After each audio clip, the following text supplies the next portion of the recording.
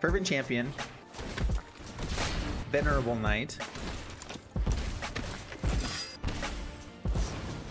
All right, and so now we Blacklance Paragons again. I think that we did like 16 points of damage with that Corpse Knight. Whoa, that was awesome.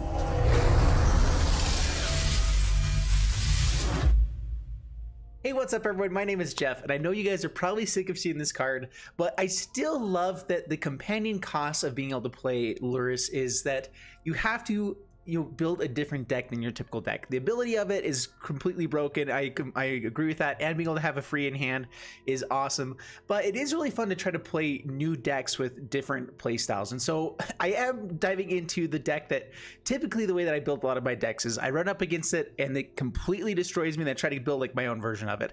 Uh, and so this is the Lurrus Knights deck, which is just completely busted and awesome.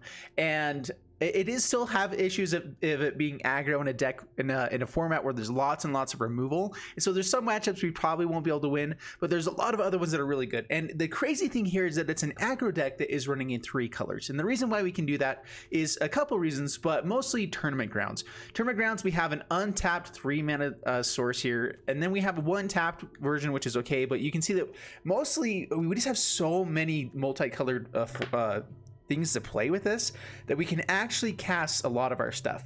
One thing though is that Tournament Grounds doesn't let us cast our Unbreakable Formation, our Fight as One, which having Fight as One, our Dire Tactics is really, really nice in this deck.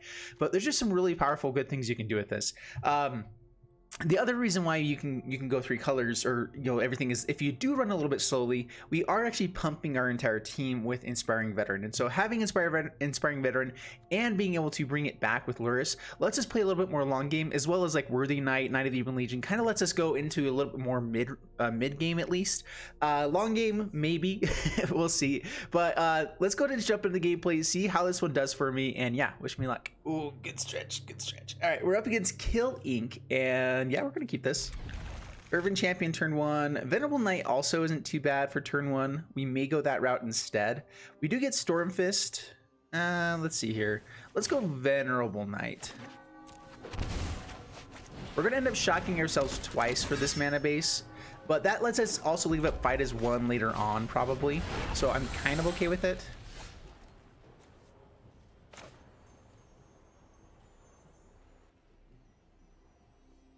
Is it actually worth using the fight as one to uh, get rid of the Scorch Spitter here? All right, let's go ahead and with Fervent Champion, swing in.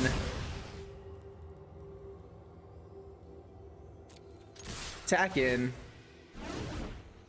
Plus onto the Vulnerable Knight. We're spending a lot of cards right at the beginning, but we also get a pretty decent board state. Man, all right getting rid of Scorch Spitter, getting lots of stuff onto the battlefield, and then if stuff does die later on, I mean, honestly, with Vulnerable Knight, we're kind of fine with it dying with Lurrus. So maybe we should have gone for some other stuff, but having another one's not bad. Uh, so let's actually go Vulnerable Knight, Stormfist Crusader, swing in.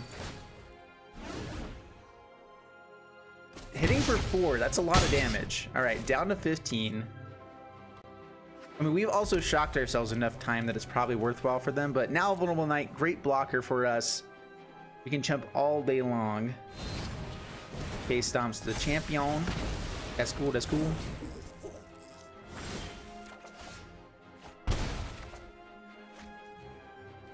We are giving them card draw. All right, let's swing in. We're six. Down to eight. Okay. Uh, let's go. Do we just want Skyknight Vanguard? We can go Lurrus into Fervent Champion. Is that actually worthwhile? The Lifelinker might be nice, but let's just go ahead with Skyknight Vanguard. And we don't actually need that much red mana, so Godless Shrine, pass the turn. So I think our best draw here is Unbreakable Formation. Ooh, let's see if they can play their entire hand. It's very possible. And they have a reach creature now. So inspiring veterans would be amazing. Do you swing in? You can put out Bonecrusher Giant as well. Okay. Yep, they built a pretty decent board. Swings in. No blocks. Down to 11. Fight is one. There it is. There's Unbreakable Formation. And we get fight as one. That should be game. Swing in. Whatever they don't block, we get to pump.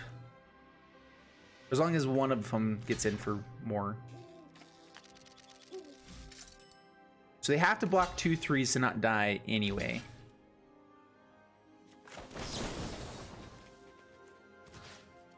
Okay, target human gets pumped, and then target non-human. Yeah. Sweet. All right, that was some pretty good running there. A little bit of good draws. Uh, and, and, maybe I shouldn't have saved the vulnerable knight earlier on. Again, things going to the graveyard is kind of okay with Lurrus, but also like having a bit, a bit better board state is pretty valuable, as we can see there. Up against Nad Logius, and this looks like a pretty decent hand. Pretty good start. Keeping this. Worthy Knight is really, really good because it typically gets targeted right away, and it is something we can definitely uh, keep bringing back. So Fervent Champion, we're losing the race because we're shocking ourselves as we're swinging in, but the whole point is get their damage, their life total down to uh, to zero. I was about to say to 20. Hopefully not down to 20. That'd be bad. All right, swings in. Um, I think that we'll just swing in and then shock in the Worthy Knight. Going wide seems pretty good against a more beefy deck. This is Temur Adventures. They can definitely go really big, really wide and hurt us lots. No Lucky Clovers. Okay, Lovestruck Beast is manageable. Okay, so we're gonna go for Corpse Knight, just kind of go for direct damage here. Each time we play something, we're gonna get two points of damage in. So no attacks past the turn. Kind of got our combo set up. So more lands would be great. Not a land. Um, I think that we're going to go for Skyknight Vanguard. It creates the most bodies for us with Corpse Knight, and we can be swinging in with it.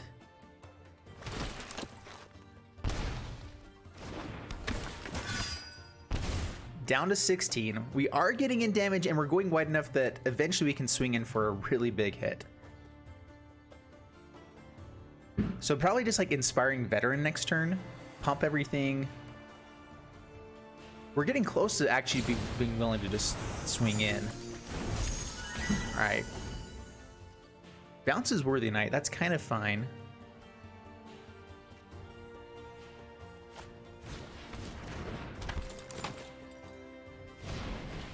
It plays Brazen Borrower. Alright, so we don't get to swing in with Skyknight Vanguard anymore.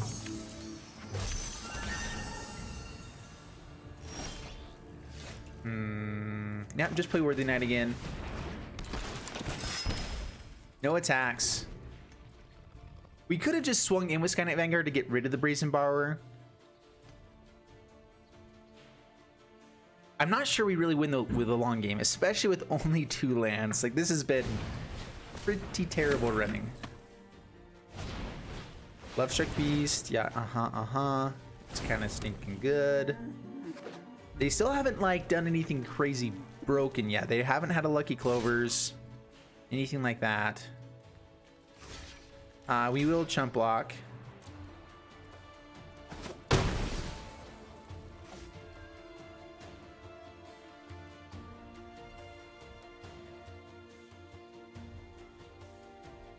They have a Bonecrusher. Okay, Tournament Grounds. Not too shabby. All right, so I think that what we what do we want to do if we get another Inspiring Veterans, this would be really nice to have. Um, Blacklance Paragon is pretty nice too. Like we could actually uh, block a Lovestruck Beast this way.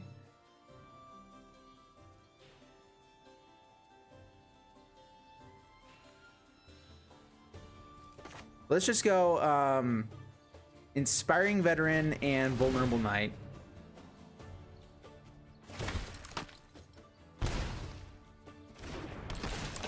Let's see, Knight of the Ebon Legion actually starts growing right now. So let's go ahead and get it out, because we, we are doing uh, four points of damage here.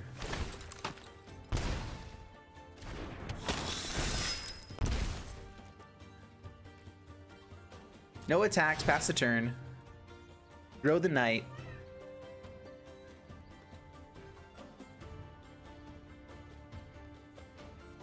And now with Inspiring Veteran, they're a little bit further away from actually just shocking our guys to death. At least like a Worthy Knight and Corpse Knight, which are kind of the main pieces here. All right, Brazen Borrower. I feel like you could have done that a little bit earlier. But I mean, okay, that's cool. okay, Brazen Borrower number two. It's, those guys can't actually block that well. They're probably better to be swinging in with. At least one of them.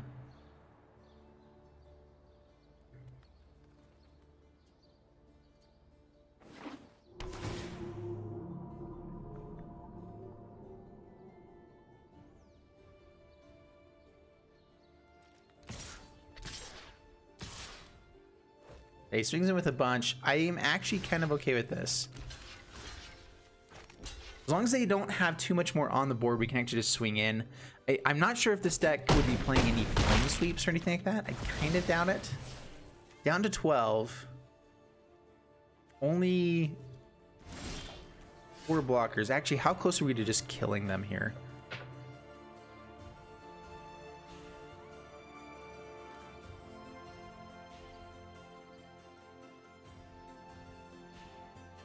They could have another Brazen Borrower.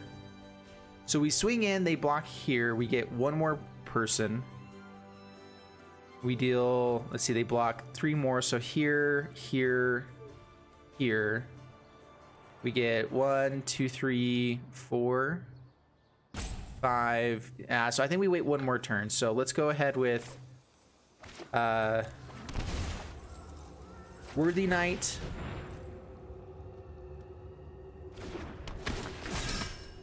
Then we can probably just flash in Blacklance Paragon whenever we want to.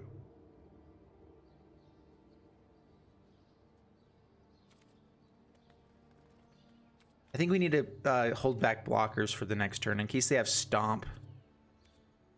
We can't take six. So yeah, let's pass the turn.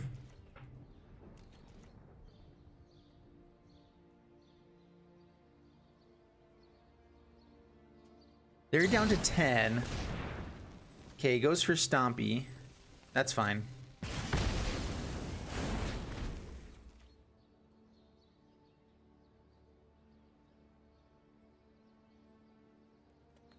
And as long as they haven't found a Lucky Clover, we're in a much better shape here.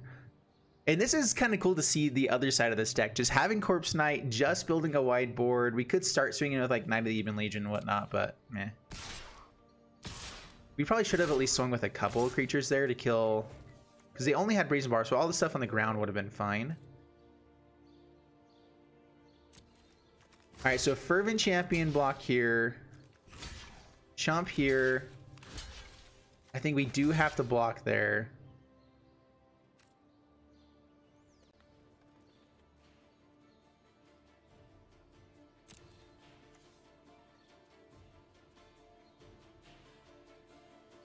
Right, Blacklance Paragon. Give this Death Touch and Lifelink.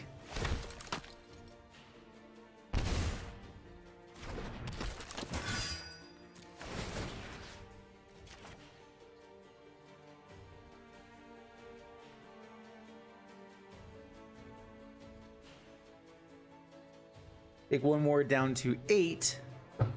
So next turn we get to, if we find another one drop, we get to, let's see here, do quite a bit.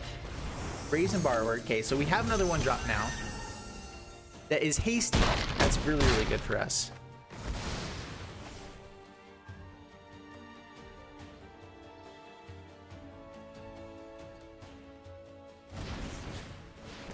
So we have like six points of damage just on the in our hand right now. Yeah, I'm so glad Corpse Knight has been stayed alive. I don't, I don't know why they haven't been going after Corpse Knight at all.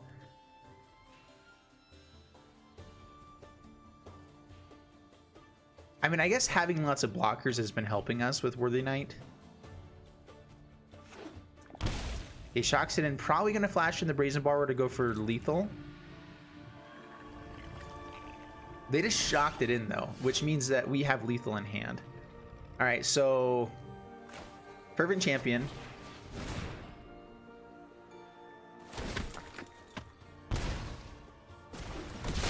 Okay. Down to four. Vulnerable, Venerable Knight.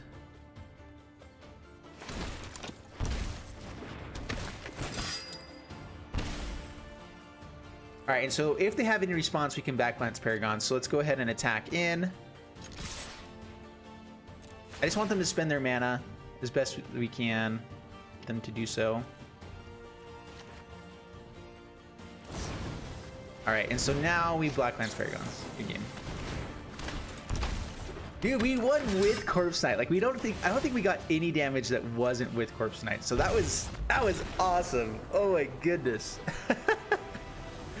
okay, Corpse Knight definitely deserves a slot in here. I like I figured it would like maybe getting like five points of damage in some games, but I think that we did like 16 points of damage with that Corpse Knight. Whoa, that was awesome. Up against Wibu the Whale, and yeah, we'll keep this. This looks perfect. Mm. Dig it. Love tournament grounds. Love having white mana in our hands still for things like Unbreakable Formation. Next turn, we'll go Worthy Knight. Hopefully hit a land for Storm Crusader, Fervent Champion, and then Unbreakable Formation. Mm. I don't think that that's very beatable, especially when we're on the play. Ooh, and the Corpse Knight. All right, Worthy Knight. Swing in, down to 18, pass the turn. People have been starting to play a lot more Extinction events. Another Worthy Knight. we Corpse Knight first then, or after? I guess we try to like mix it up a little bit so that we have a Worthy Knight in case there is some sort of board wipe here. Dude, Fervent Champion's pump with this deck is actually legitimate every time. It's it's kind of busted. okay, down to 14. Let's see. Cry of the Carnarium is still in the, yeah, okay. I'm gonna say we just, being on the play, having that much stuff on board, and having Lurrus to bring things back, like, it's a really difficult position to come back from that point. I know because I have lost to this deck so many times with, with hands like that. Up against Acres, bringing on Acres, and I like the fight as one. Worthy Knight, Inspiring Veteran, start pumping stuff. Double Worthy Knight, also really good. Up against Yorion, that means I'll probably have lots more board wipes than we want to deal with, but we will be able to deal with it. Well, hello there. Ooh, Unbreakable Formation. Going wide with Worthy Knight, Unbreakable Formation. All right, let's just see if we can last that long. We are not on the play, which is rough. Okay, Worthy Knight, Worthy Knight number two, Fervent Champion, swing in for a bit. Four.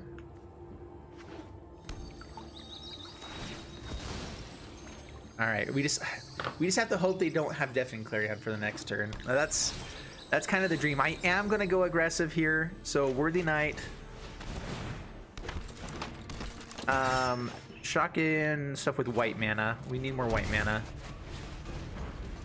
Double Worthy Knight triggers.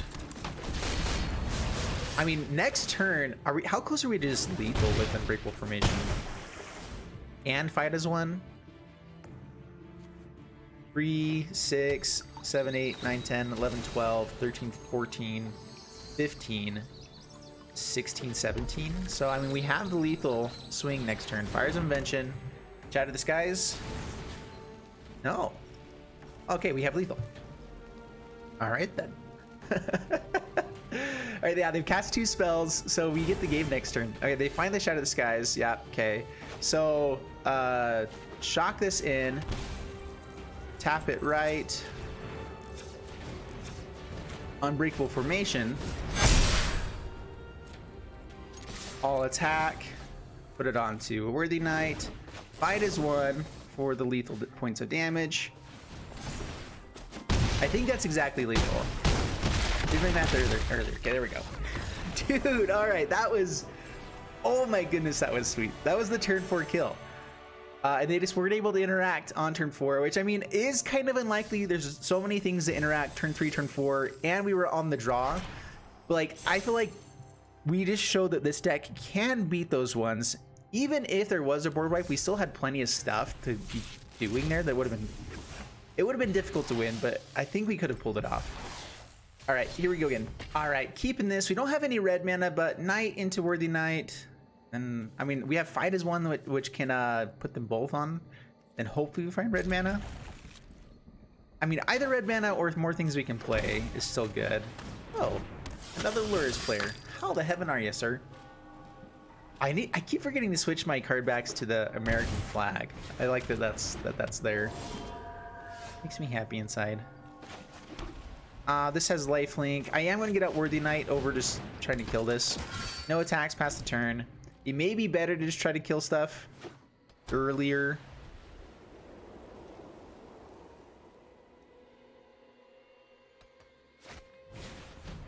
IS Wayfarer. Alright.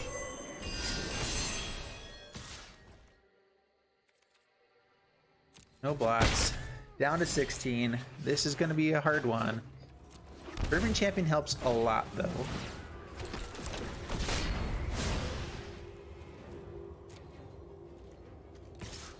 Swinging with Worthy Knight.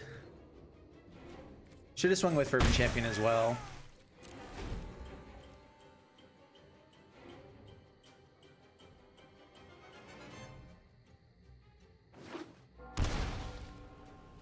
Shocks. So our only good thing here is the fight is one is kind of meh. Man, that's good. Kai's goes for him with Lurrus is so busted. Alright, how many more R's do they have?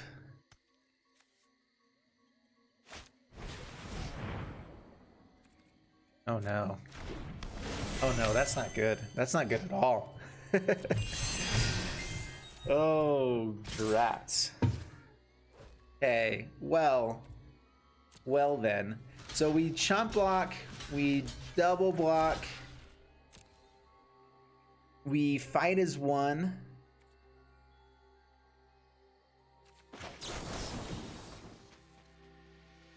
Yeah, I think this was just too good of a start. Target human, target non-human. They still get to get in the alive because we didn't pump it up enough, but at this point, we're just trying to survive. okay, passing my turn. Um, Fervent Champion. Do we just shock and play Lurrus out? We could just hold up Knight of the Ebon Legion Pump and and not fight as one as well. Hey, buddy my buddy decided to come in and join us for a little bit. That's fun. Um, do we just play Lurrus out? Because then if stuff does die, bring it back. Oh yeah, it's so exciting. um, I, let's just go ahead and pass. There's not even anything in the graveyard, but that again, we could probably go. I just don't know how we beat the life gain as well as really big creatures. And Lurrus, and Alseid of Life's Bounty for protection for days. All right, buddy. Let's see if we can give you back to mommy. Thanks for joining us. Bye.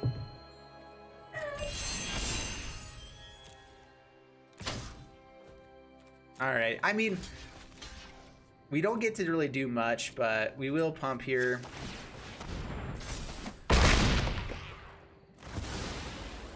We get to kill it. It does come back. They draw two cards. Lurrus can bring back All That Glitters, and Kaz goes for him. Well, not both next turn, but we get Lurrus. We oh come on! Why in the world would you not? All right. Oops. Yeah, this is this is a really hard matchup. I, think that if we were on the play, if we had a little bit more of an aggressive hand and they just didn't have the nuts, we might have had a better shot but you know It's hard to beat? The nuts. The nuts are hard to beat, man. That sounds so bad. Ooh, add a Wayfarer. Could have done that a little bit earlier. Yeah, pumping like crazy. Yeah, this one's just done. Like, I do think that we could play the really, really long game. We have Lurrus out, so we can do stuff, but the issue is that they can just give protection. With double Alseid Life's Bounty, they can eventually just give him enough protection to get through all of our creatures, and we're not going to beat that. Up against Yak Man, and lots of one-drops with Worthy Knight. Mm, mm, seems, seems pretty good.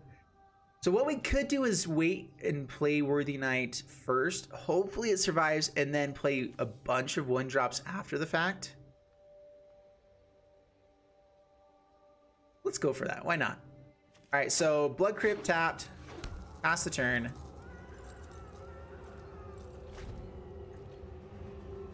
I'm playing Blood Crypt because that may show us, like, look like we're playing a different version.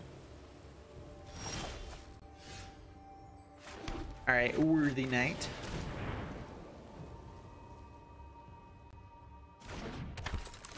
Pass the turn.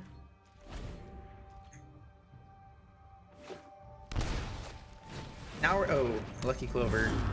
They do get to kill lots of things with that. All right, so Vulnerable Knight, Knight of the Ebon Legion, and Knight of the Ebon Legion is going to get pumped here because of the Fervent Champion pump. Ooh, this looks, this feels really good. All right, swing in and pump. Pump the Knight of the Ebon Legion. Oh man, that's a good turn three. That is really good. Maybe it was better to go ahead and play out like Venerable Knight first for a bit more damage. I don't know. Beanstalk Giant, this is this is good. They got the Lucky Clover on turn two, which means I'm terrified. But if we can find Unbreakable Formation, we only have two copies. It's not very likely. Yeah, bounces some good steps.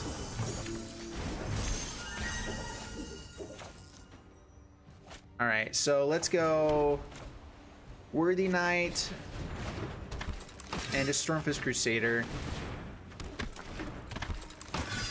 Swing in for a lot. Down to five, past the turn. And see, this is where hopefully they don't have ways to uh, to wipe the board.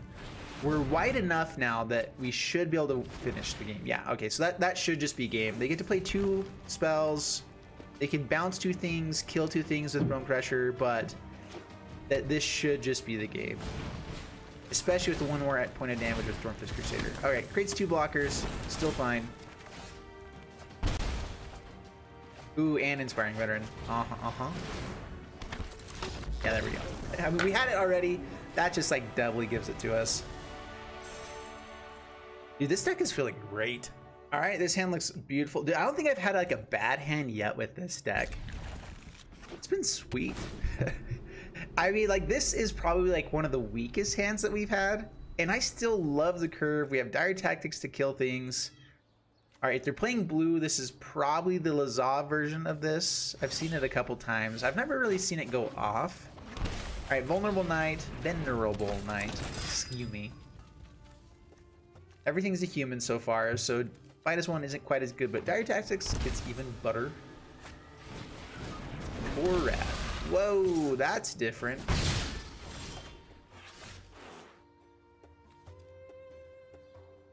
I think that we still go for our game plan here.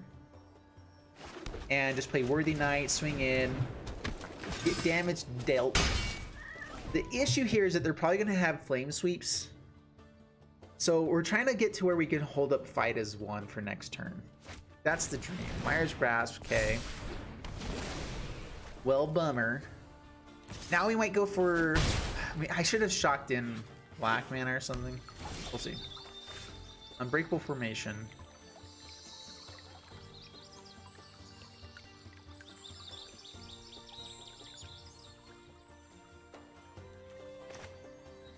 Do we go for removal now or go for Stormfist Crusader? Giving them card draw is not really great for us either. Dude, Lurrus and Dorat. I actually want to play this deck now too. Lurrus is just so good. um. All right, let's let's go ahead and play this out. We get to hold up protection. Oops, swing in. Down to 14. We're taking three every turn. They're for sure going to be able to play some more stuff, though. So, I mean, as long as we get to this dire tactics, we should be okay. Using that word very loosely. Should. Oh, man. Don't shit on yourself. It's terrible.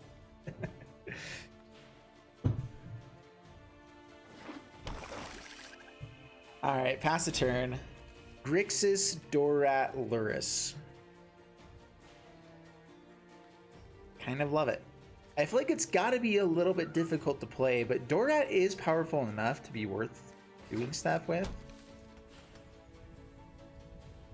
And the question here is, can we win through the Dorat versus Lurrus? Like, if they do just play out Lurrus, we probably Dire Tactics that, hope that we can find more stuff. Okay.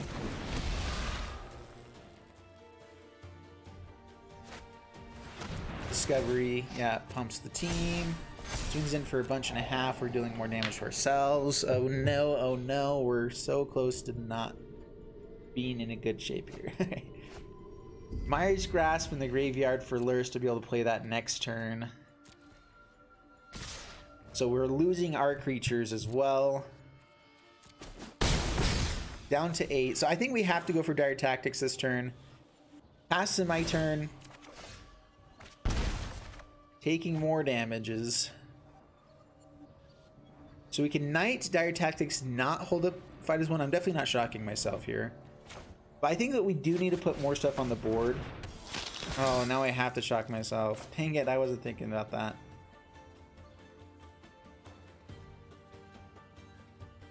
Oh no. Okay, how close are we to just being dead? Okay, Dire Tactics. That was a misplay. So if they get to cast two spells, we kill ourselves with Stormfist Crusader. Yeah, I just... We had the Dire Tactics to not be dead, like straight up dead, just for with one spell. This way we might have a shot of not being completely dead. um, let's see what they take. If we can keep Unbreakable Formation, we actually might be able to close it out next game.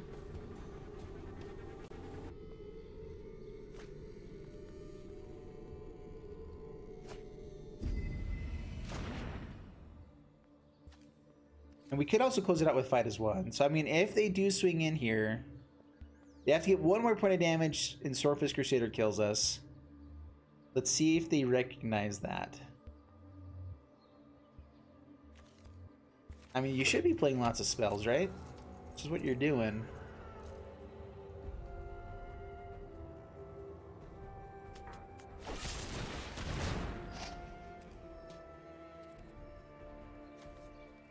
All right, and we, we are dead. Let's go ahead and uh, maybe...